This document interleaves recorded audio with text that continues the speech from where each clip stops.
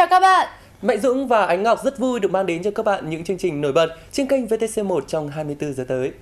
Thưa quý vị và các bạn, vậy là sau một thời gian dài phải sống vô thức, mẹ của Yun Hoa trong bộ phim Hàn Quốc Lửa hận tình thù trên kênh VTC1 đã bất ngờ hồi tỉnh đúng vào thời điểm người chồng cho In Suk trước đây sắp trở thành nghị viên quốc hội. Tuy bà đã yêu cầu ông này phải công khai xin lỗi và thừa nhận tội ác đã vu oan giáo họa tội giết người cho Dung Hoa, song để từ bỏ hết tất cả và sự nghiệp chính trị cũng như cả cuộc đời của con gái Zura, thẩm phán cho In Suk có lẽ sẽ khó mà quay đầu lại được nữa. Trong khi đó, để ngăn chặn Jun Jae đưa chứng cứ minh oan cho cô gái Yun Hoa và cũng là để công bố tội ác gây tai nạn và giết người của mình năm xưa, Yura sẽ tiếp tục bị lún sâu vào vòng tội lỗi mới. Và nạn nhân tiếp theo của cô gái đầy dã tâm này chính là người chồng Jun Jae của mình. Những diễn biến mới đầy bất ngờ trên sẽ có trong tập 70 năm của bộ phim Lửa hận tình thù được phát sóng vào lúc 11 giờ 30 ngày 12 tháng 11 trên kênh VTC1. Kính mời các bạn chú ý đón xem.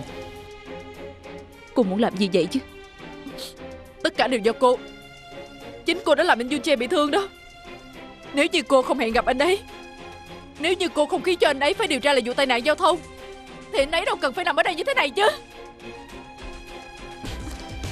Cô làm vậy là muốn trút giận lên tôi có phải không Làm vậy thì được gì chứ Cảm giác tội lỗi Có dơi đi được không chứ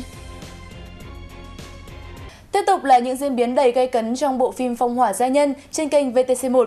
Với sự trợ giúp của tướng Thẩm Chi Bồi, Lê Thiệu Phong đã bắt ép được Đỗ Gia phải gả con gái Nhược Hoa cho y. Tuy nhiên rất may cho Đỗ Gia là đã có Dục Uyển nhanh trí xoay chuyển tình thế, không những bắt Lê Thiệu Phong phải hỏi cưới đàng hoàng mà cô gái này còn tìm được người có thể cứu Nhược Hoa thoát khỏi cuộc hôn nhân đầy tính toán này.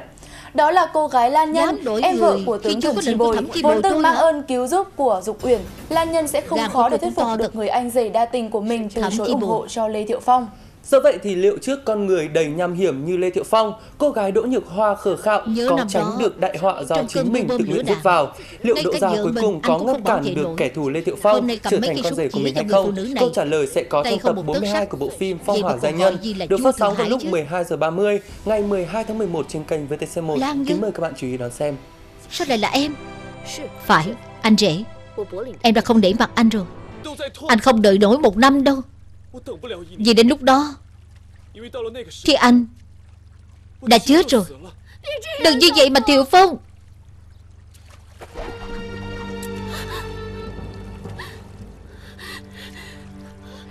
Dừng lại đi. Cho tôi quay về. Dừng lại.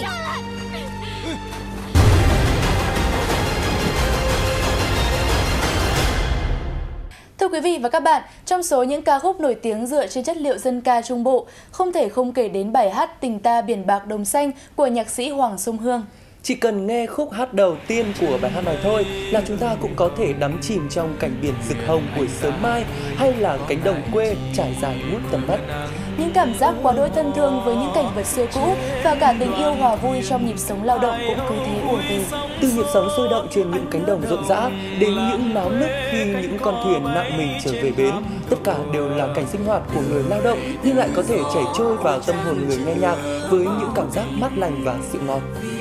Trong chương trình phim tài liệu phát sóng lúc 15 giờ 30 ngày 12 tháng 11 trên kênh VTC1, mời quý vị và các bạn cùng đến với mảnh đất Quảng Bình đầy nắng và gió để cảm nhận đầy đủ hơn về bài hát nổi tiếng này cũng như tình đất, tình người nơi đây. Mời quý khán giả chú ý đón xem.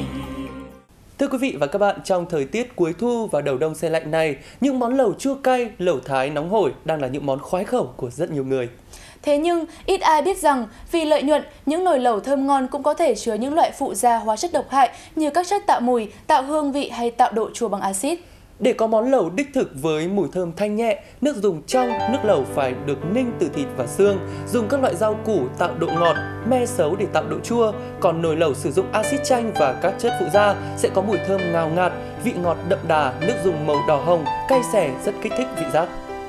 Theo các chuyên gia y tế, việc thường xuyên sử dụng các loại lẩu có các chất phụ gia sẽ ảnh hưởng tới chức năng gan thận, hệ tiêu hóa, hệ thống thần kinh và đặc biệt đây cũng là một trong những nguyên nhân gây ung thư cao nhất.